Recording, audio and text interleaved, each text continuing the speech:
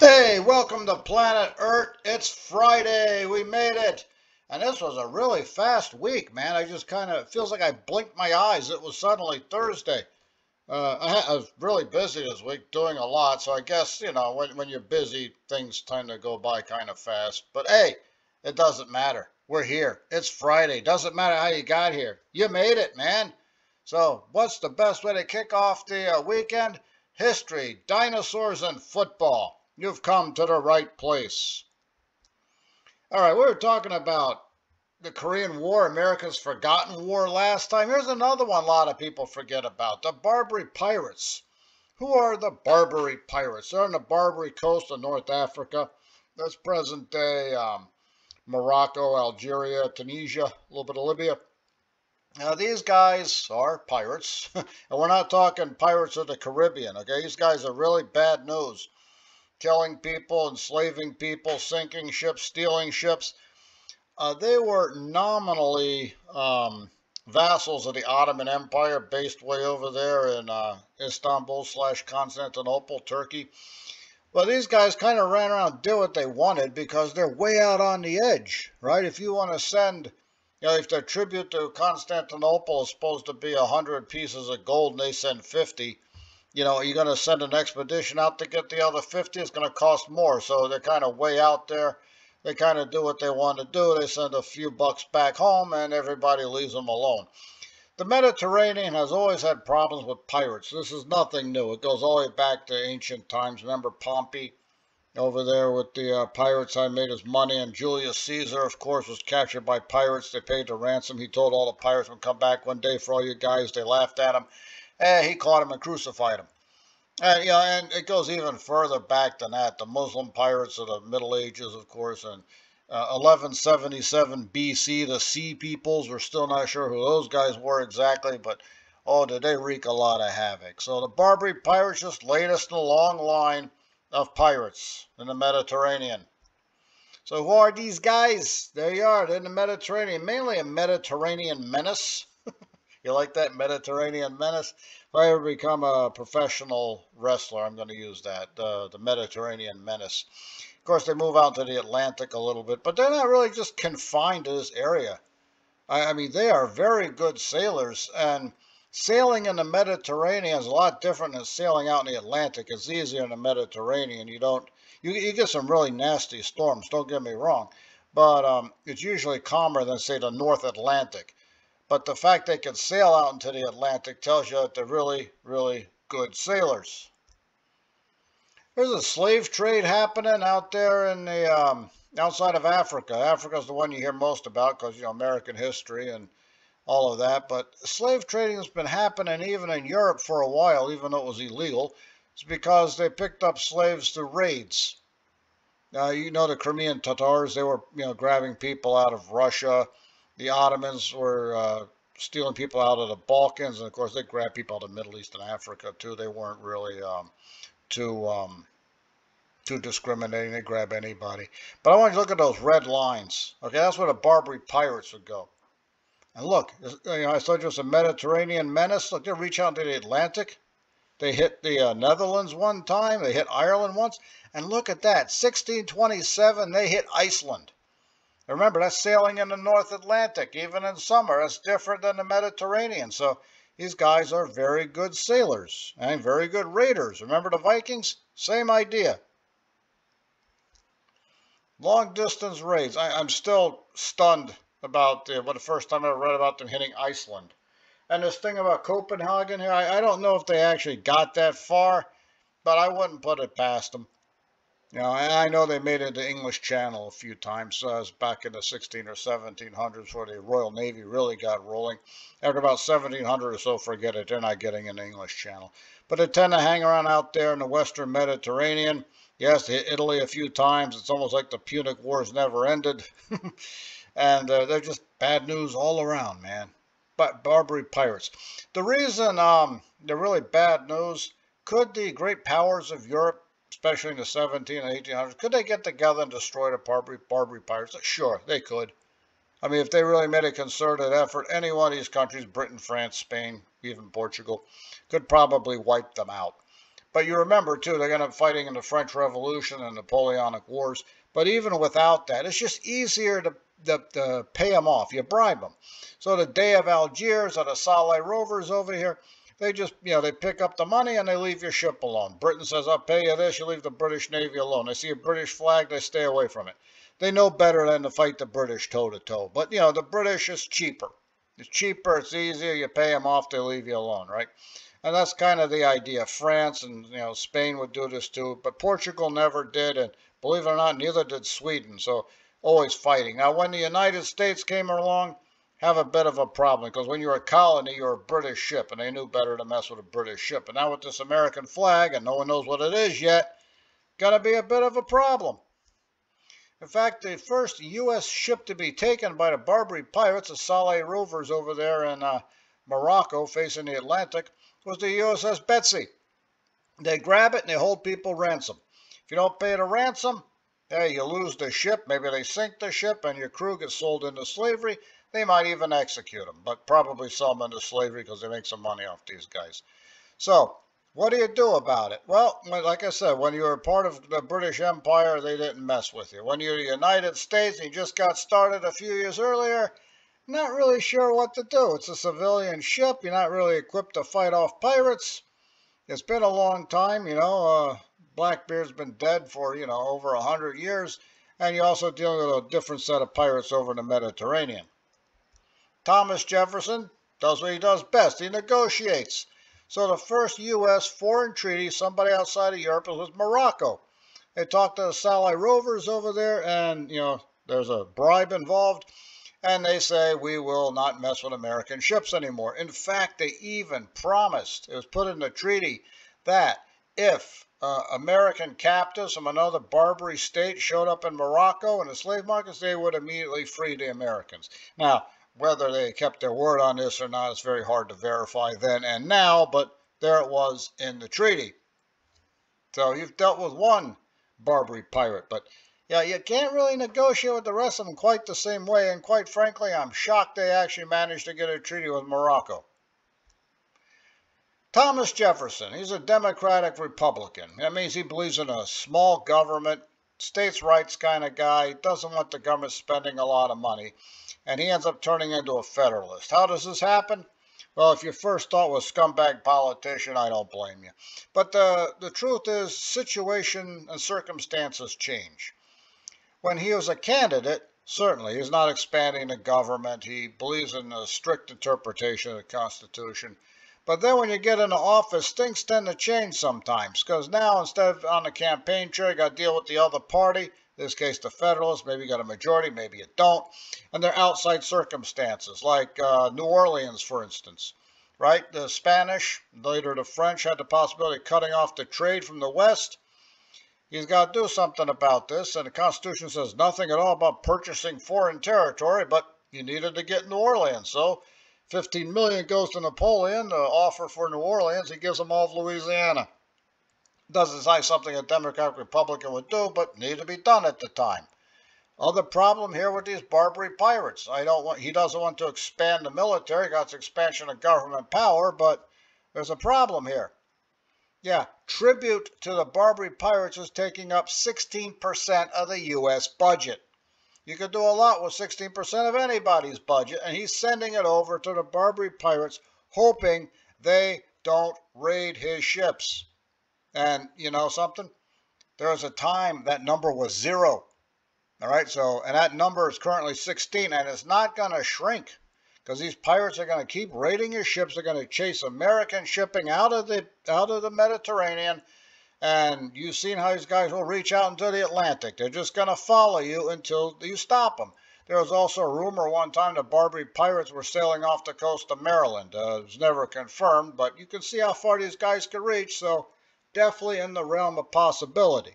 So how are you going to smash these pirates into the ground or water, drown them, and uh, yeah, how are you going to do that? You know, because you got to keep doing this. There's Admiral Bainbridge who's giving tribute to the Dey of Algeria. Brings the money. They force him to grovel and all this stuff. And do you know he sailed in a ship called the USS George Washington? And they made him take that ship all the way to the Ottoman, his alleged Ottoman overlord to deliver the tribute of Algeria. Yeah. So now not only do they have you handing over money, they got you as a delivery boy. And it's not like you're delivering pizza to somebody. So you got to do something about these guys, and they are thinking long and hard. They come up with an idea. Let's get some allies right? The Kingdom of Naples, Kingdom of Sicily, later the Kingdom of Two Sicilies. And I already mentioned Sweden was fighting against the pirates. They were never going to give any tribute. So these aren't exactly major powers, but hey, you got three small countries, better one small country taking on the Barbary pirates. So we've got a kind of not a formal alliance, but we've kind of got an understanding. The Swedish and American ships look out for each other. Sicilian, American, Swedes, they'll look out for each other. They let us rent the naval base down there in Syracuse to attack against Barbary pirates. But what are you going to attack them with? Yep, the original six, I call them the OGs of the U.S. Navy. These six frigates are built by uh, Thomas Jefferson, which means more money, expansion of government power, the stuff he did not want to do, but he kind of has to because circumstances forced it on him. The USS United States, the USS Constellation, the USS Constitution, the USS Chesapeake, the USS Congress, and the USS President. And all the other ships they have, they upgrade them, put guns. D6, 38 guns. So they go toe to toe with uh, almost any European ship of the line, not quite, a little bit smaller. They could, they could take on the Barbary pirates out on the ocean with no problem. We've got guns, we've got Marines to jump across, take their ships and sink them for a change, or maybe keep them as war trophies. You get in close and shell their, uh, shell the, the Dey's palace, which happened a few times problem with uh, Tunis and uh, and all these places that they got these uh, in the Mediterranean. The closer you get to the beach, you start seeing these shoals. They're called rocks that stick out, so you can't really sail in. So you know you can shell them all day, but until you land soldiers on it, you know you're not going to crush the pirates completely. That happened to us there. The USS Philadelphia, another ship we built. Bainbridge again. He he had a little bit of revenge motive here against the Barbary pirates. They were shelling the Dey of Tunis over there. I mean, uh, yeah. And he tried to get in close, got stuck out on the rocks, and the pirates swarmed over and captured the Philadelphia. That's the uh, Edward Preble was the admiral in charge of the whole operation. He he tried to warn Bainbridge, watch out for those shoals and those rocks, and you know, he got caught on there. And down below there is Stephen Decatur. Who is he? Is an officer on that ship who escaped. They hijack a, a Tripolian, right, Libyan ship, and uh, you know they they jump back on the Philadelphia. They burn it down with the pirate crew in it, and they win the war against Tripoli. That's the that was the main blow. The, now the the final blow came from the Battle of Derna. Now the guy over here on the left is the uh, consulate for the Ottoman Empire, the American consulate, the Ottoman Empire in Egypt. His name is William Eaton. The other guy, the younger looking guy, U.S. Marine Corps Lieutenant Presley O'Bannon. Uh-huh, here we go, right? The shores of Tripoli. So what they do is they mount an expedition from Egypt. Didn't really tell the Ottomans about it. We're Americans. We don't ask permission. We just go out and do it. And they go across the desert along the coastline and they attack the major city called Derna because the Barbary pirates had an internal problem going on between two brothers who wanted the throne. So they made contact with one brother and said, we put you on the throne, you leave our ships alone. He thinks it's a great idea, so off they go. They've got eight Marines with them and a bunch of uh, Arab and even Greek uh, mercenaries to take on the rather small armed forces of the Barbary pirates, mostly Navy. They don't have that big an army. The army is a sailor who's not quite on the boat right now. They march to a place there called Derna. They fight it out and they smash the Barbary pirates platoon-sized armed forces into the ground, the Battle of Derna. That's where we get the shores of Tripoli from there in the Marine Corps anthem. So Derna goes down. We put our guy on the throne. They leave our ships alone. For a while, anyway, right? It's a big victory in 1805. They leave us alone.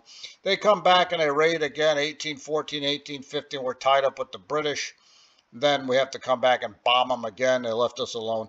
The Barbary pirate um, menace is finally put down for good when the French invade Algeria in 1830. They don't bother just sitting out there shelling and, you know, because of the shoals. They actually land opposite and, you know, go on land and conquer Algeria in 1830. So, guess the French came in handy for us there. But, you know, they're not going to mess with our ships ever again. That's why we're always kind of we're always kind of uh, prickly about people messing with our ships. Don't like that. It's not good for business. Hey, here's an interesting dude. Who's Richard Owen? Well, Richard Owen, he's British, lived in London. Kind of a weird dude. Didn't have a lot of friends, didn't care to have a lot of friends. His best friends are right there, skeletons. This is the man who invented dinosaurs. Yep, he came up with the name, Dinosaurus. Dinos, terrible saurus, lizard, terrible lizards. There he's with a skull of a crocodile. As you guessed, he's kind of an odd dude, but people actually seem to like him. I have no idea how he uh, got married, and uh, I'm really, really shocked he didn't get divorced because he talked to the London Zoo and he said any animal dies, he gets first shot at dissecting them. And his wife came home one day and found a dead rhinoceros in the kitchen. So, uh, like I said, no idea how that guy's marriage held together. Anyway, as he got older, he became more personable, oddly enough, had up with a lot of friends. His nickname was Old Bones. He invented the dinosaur, Dinosauria. He wasn't really sure what it was. Nobody had really bought into the evolution thing yet, that new theory from, uh, from Darwin. Most people had taken the biblical, uh, biblical belief that the world had been created in 4004 BC. Uh, then they decided maybe it's 25 million years old. They haven't come up yet with carbon dating. And so dinosaurs fit in there somewhere, but no one's really sure what they were. And people have been finding dinosaur bones forever, but no one really was sure what they were. A lot of people thought they were bones from dragons, which, you know, makes sense, but turns out it's really not. Or we don't think they are anyway. But old bones here, Sir William, uh, Sir William Owen, uh, Sir Richard Owen, sorry, was uh, turned into kind of a celebrity there for a while. And the older he got, the more famous he was. And, you know, then he ended up dying. anyway, his nickname was Old Bones, and he was very, very proud of that. He didn't care to be called Sir Richard. He said, just call me Old Bones and bring any dead animals you have. I look at that name, Old Bones, and I wonder if that was the inspiration of Bones McCoy of Star Trek. I'm not really a Trekkie, but I do know who this guy is. And I saw a debate the other day. Do you like the one from the 60s or the early 21st century? Uh, yeah, kind of more the early 21st century. But, you know, when it comes to space stuff, I'm kind of more of a Predator and Aliens kind of guy. But I digress. The very first dinosaur ever identified and marketed by Sir Richard Owen was the Megalosaurus. Megalo, large lizard, saurus, large lizard. And remember how we talked about how it's hard to reconstruct animals sometimes? Well, we have a lot of knowledge of dinosaurs, and sometimes we make mistakes. But remember, Sir Richard Owen is starting from scratch. No one knows anything about these bones, and sometimes they're partial. So he's in England, and he's dealing with Jurassic Park fossils. A Megalosaurus lived in a Jurassic Park. And look at that around circa 1880. He figured that's what it looked like. But then he noticed the legs, the front legs were, you know, they didn't seem thick enough to support the weight of something that looked like that. Because the idea of a bipedal reptile was just kind of uh, unknown. But, you know, the, the legs in the front are too small. The legs are very, in the back are much thicker. He knows all about animal anatomy. And so, well, you know what? Maybe this thing walks on two legs. And there we are. Everyone accepts it walks on two legs. So around 1900, they figure that's kind of what a megalosaurus looked like. They they think it was almost that, you know, you see the early 21st century, almost straight upright posture, but they got the tail. So a lot of people thought that's what it looked like. In the late 20th century, early 21st century, our depiction of dinosaurs has them leaning forward with the tail a counterbalance, which makes a lot more sense to be honest with you. Why would you drag your tail around? It's got to hurt after a while, so you keep the tail upright which means it leans forward, which means this thing can really move. It could stand up uh, upright if it has to, but it, this thing probably runs with uh, the balanced look over there, and it could really move. Now, they actually made uh, tried to turn this into a tourist attraction. So there we are, Megalosaurus, and Later on, Iguanodon looks something like this, Crystal Palace Park in London. Just imagine some drunk guy coming from a, ho hockey game, some drunk guy coming from a soccer match, all right, and it's dark, and he's, you know, inebriated, and he sees this in the distance. I mean, it must have really scared the daylights out of some people, man. Great Britain, it's a weird place, dude. So let's take a closer look at the modern-ish Megalosaurus. So, you know, it's not the biggest. It's definitely not a threat to T Rex or anything, but it could definitely mess a human being up. So we're looking about, I don't know, about 10 feet tall maybe if it stands straight up. It looks approximately 27 to 30 feet long, kind of a longish tail. And I think this is much more accurate than the quote unquote classic Megalosaurus because this is an animal that clearly can move fairly quickly got those wide jaws, so the tail's got to counterbalance everything. Why does it have a tail? It's a reptile, man. They started with tails, they still got them. It's counterbalance. Hey, here's Iguanodon. It lived at the same time as Megalosaurus. We know this because of Sir Richard Owen. He found the skeletons, tried to put them together, and the thing he couldn't figure out was why there were two horns. There's supposed to be a horn on his nose. Where's the second horn go? Again, we looked at the legs and said, yeah, maybe it does, maybe it's not a four-legged animal. Maybe it does walk on two legs, though those front legs do seem kind of thick. Trying to figure out what's up there with the horn and why there's two of them. You're pretty sure he figured out wasn't on the head. He kind of took a guess. That's where we come with the classic iguanodon. We know what the uh, what kind of trees and and everything that were in England at the time. And this thing's clearly a plant eater because, you know, the teeth were uh, not sharp. They're for grinding stuff, kind of like an iguana, right? Iguana don, iguana tooth. So clearly this thing reached up into the trees to eat stuff. Now, what happened with the horn? The horn's actually the thumb. They figure it was kind of a defense mechanism. Megalosaurus comes after him. He jabs him with the thumbs. And I'll be honest with you, man, it looks like that would hurt. So it's got looking a lot like an upright iguana, working with the uh, with the knowledge they had at the time. And you know, as life goes on, the remains and skeletons are reinterpreted and they put them back together again. And we come up with something in 2020. It looks kind of like what they had in 1850. There you are in 1850. Looks like an elephant with a horn. 1880s, around 1960s or so, they call it the kangaroo pose with the thumb spike. So in our more recent and enlightened age of the 21st century, we think it probably walked around on four legs, though it does rear up on two, you know, to reach up to eat stuff in trees, and if it comes under attack, still has those thumb spikes.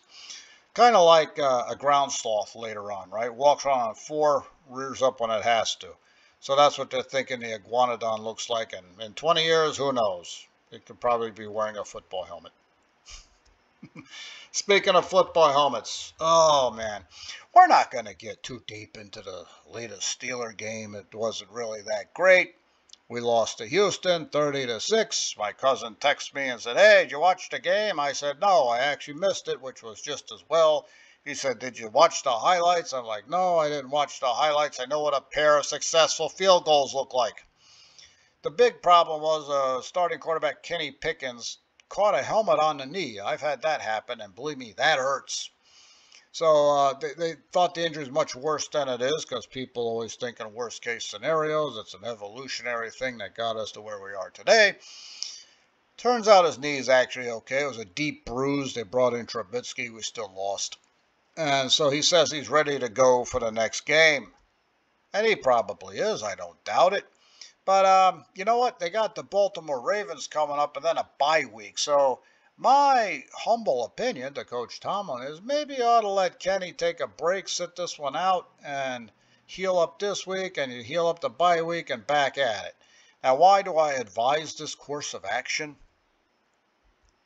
Because Baltimore and Pittsburgh, it's basically a brawl, and there's a couple misdemeanors that should probably come out of some of these fights. Oh, believe me, Pittsburgh and Baltimore, even when nothing's at stake, they fight each other like there is no tomorrow. Way back in 2001, I remember they were playing at Heinz Field, now Acrisure Stadium. They were fighting it out with each other, and almost had a fight down at the bottom of the pile because the former Steeler, Raven at the time, Rod Woodson, claimed somebody was trying to jab at him in the eyes through the face mask. Another guy claimed one of the Steeler players bit him at the bottom of a pile somewhere. yeah, these guys, they, uh, yeah, they don't like each other. It doesn't matter what the record is; they really do not like each other. And if I had a weird-looking bird on the side of my helmet and the bees backwards on one side, I might have a bit of an attitude problem as well. But you know what? I don't care. You're the enemy. You're gonna lose. You're coming to Acrisure Stadium. Uh, uh, a very strange statistic in this series is uh, quite often the visiting team wins. But, you know, we're, we're not going to have that happen this time around. No, no, no. We're going to be waiting for him. Doesn't matter who our quarterback is, we're going to take down the Baltimore Ravens because we know what to do. These are the two guys you got to take care of. Quarterback there is Lamar Jackson, good quarterback, good scrambler. Remembers, reminds people Michael Vick a lot of people said his passing game is a little suspect, but last week he tore through the Browns for four touchdowns. Okay, I know what you're thinking. It's the Cleveland Browns. But nonetheless, four equals four, so keep an eye on him. You keep him in the pocket, right? He can't run. Oh, he's got to look around to throw. He doesn't know who's coming up on him from behind. Boom, nail him. Number 27 over there, J.K. J.D. Dobbins. He's a really good running back uh, you got to stop him too. If you can stop the running game, you force Lamar into the pocket where he's got to throw to become one dimensional. You sit back and you wait for him. It's kind of a, a, standard operating procedure against any team, but with the Baltimore Ravens, this becomes paramount. The Steelers, on the other hand, doesn't matter who you have, right? You got to have that running game. I keep shouting it over and over. Got to have that running game. You got a new quarterback, Kenny Pickens, uh, he's not Ben Roethlisberger quite yet. Everyone's spoiled because Big Ben came in was immediately successful, and um, you, know it doesn't always work that way. You always get that lucky. And even in his first year, they did a lot of running, and then the passing game will come along when it comes along. So they're playing in Acrisure Stadium. These two teams don't like each other. They know each other pretty well. We've beaten up on Lamar before. He finally beat us for the first time last year, right? We're uh, we're three and one against this guy.